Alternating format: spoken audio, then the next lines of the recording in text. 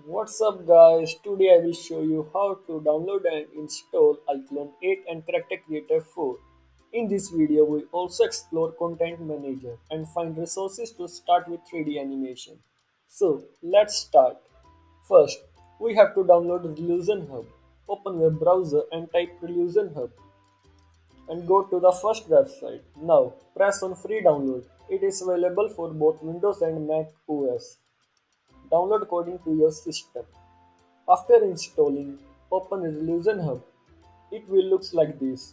There are a lot more softwares. We have to log in first. Click on this member icon. If you have already an account, you can type your login credentials. If you don't have any, just simply sign up first.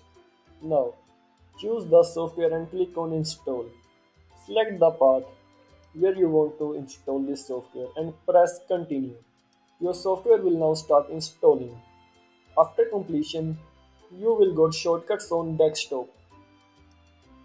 The opening screen of iClone 8 looks like this and Character Creator 4 looks like this. We will further talk about and learn interfaces in next video. There is a smart content manager in both iClone and Character Creator from where you can download online free resources or purchased items without leaving this software.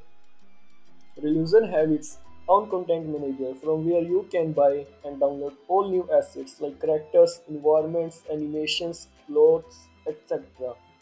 You can also download assets from Mixamo, Sketchfab, CG Trader, and there are a lot more websites for it.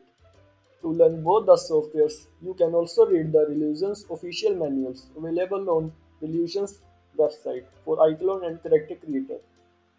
Thanks for watching this video. Let's meet in next video.